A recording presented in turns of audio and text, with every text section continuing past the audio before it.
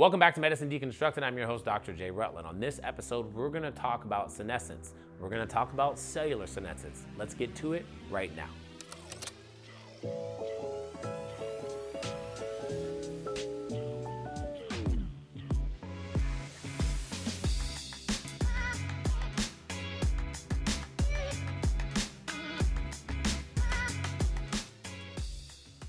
Cellular senescence is a state of irreversible cell cycle arrest that is induced by oncogenic stimuli like DNA damage.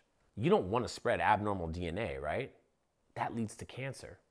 SASP, which stands for senescence associated secretory phenotype, produces a variety of secreted proteins, cytokines, etc.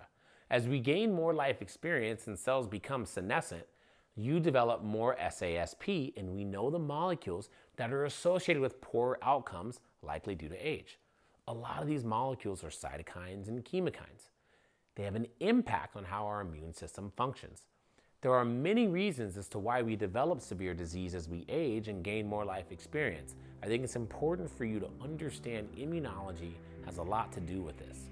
Immunosenescence is a real thing, but there are ways we can combat this. Now, thanks for joining this episode of Medicine Deconstructed. We're going to see you next time on our show, Medicine Deconstructed on YouTube, where we continue our inflammaging series.